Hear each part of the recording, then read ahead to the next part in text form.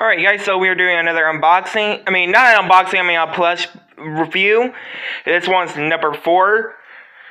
Uh, the little buddy USA or Sanei plush, and this one is Toad.